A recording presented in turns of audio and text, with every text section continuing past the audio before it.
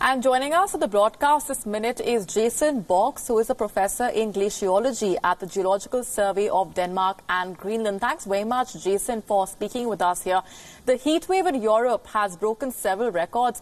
Is this a definitive sign of climate change or what's been called the freak weather phenomenon?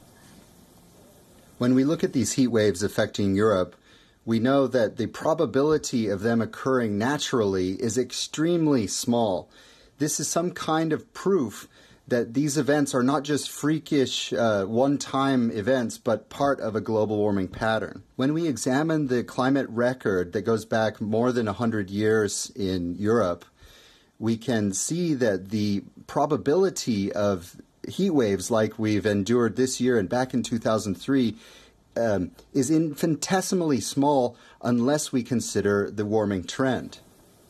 Right. So, what exactly could then uh, the implications be of losing the world's second largest ice sheet uh, for the global climate system as Greenland also gets impacted now uh, increasingly as a result of that European heat wave?